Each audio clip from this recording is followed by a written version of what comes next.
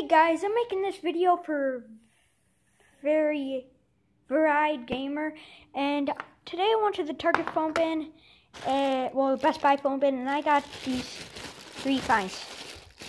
So, first thing that I got out of the bin was this Coby MP3 player. I'm not sure if it works yet, but it looks pretty nice because like it has a matte finish on the back, and it's really rubbery. And then the second find was this Alba phone. Uh, it's um, we just dang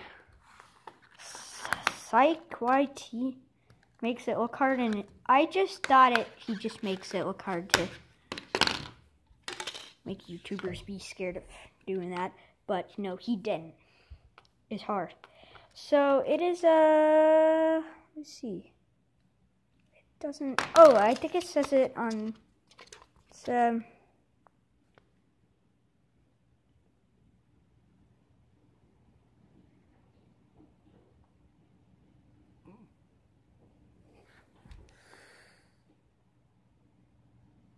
I don't know. Uh, focus, you dumb camera. It's an Argos Alba 18 feature phone.